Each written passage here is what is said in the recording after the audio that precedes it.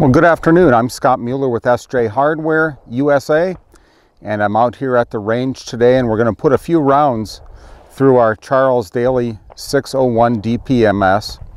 We're at a distance from 10 yards from the target, and we're going to try three different kinds of buckshot just to see how it patterns and how it functions.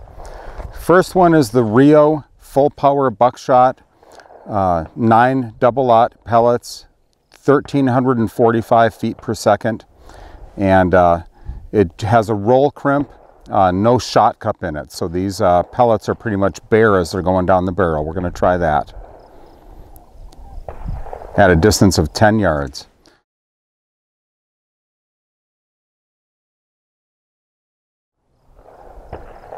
I do have the cylinder choke in the Charles Daly 601 DPMS and I just want to check uh, the pellet spread. I'm going to shoot one round at a measured distance of 10 yards.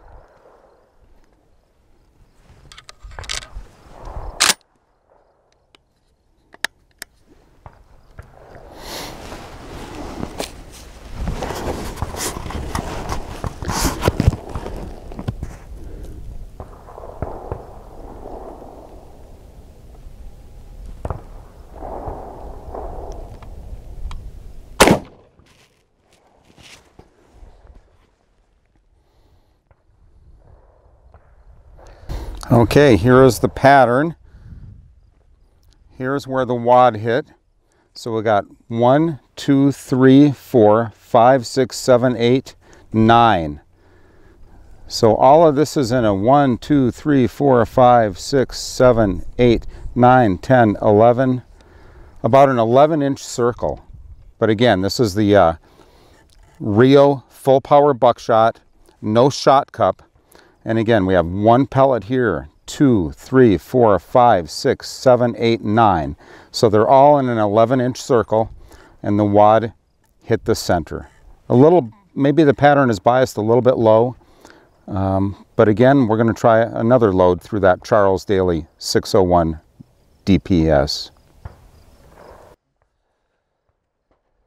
Okay, let's take a look at how this target fared with that Aguila nine pellet double aught buck at 1275 feet a second. So we have one, two, three, four, five, six, seven, eight, and maybe one of these, here's this one is doubled up right here. So we got one, two, three, four, five, six, seven, eight, nine. Nine pellets, and let's look at the extreme spread. So we got one, two, three, four, five, six, seven, probably about eight inches. Here's the furthest one. So we got one, two, three, four, five, six, seven, eight. About an eight inch total spread. So a little bit tighter than the Rio full power buck. But again, the Rio doesn't have any shot cup to protect those pellets and they get scrubbed by the barrel. It would appear here that uh, the Aguila product must have a shot cup and a more effective wad because it's keeping the pattern a little bit tighter. And again, this is at a distance of uh, 10 yards with that Charles Daly 601 DPS. Uh, the next buckshot we're going to try is the Fiocchi Exacta buckshot. This is the low recoil version. Uh, this shell does have a full shot cup and the pellets are uh, nickel plated which might help keep them more true and more round. Again, this is a lower velocity load. It specs at 1150 feet per second. And I know from other shotguns that this typically patterns really well. So uh, let's give this a try with that this Charles Daly 601 DPS.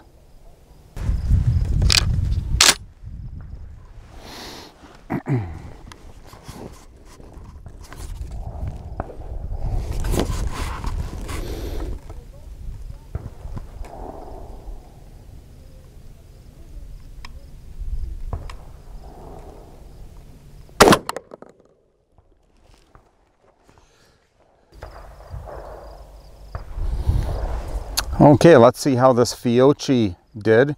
You can see the wad punched a hole right in the middle. That was my aiming point there.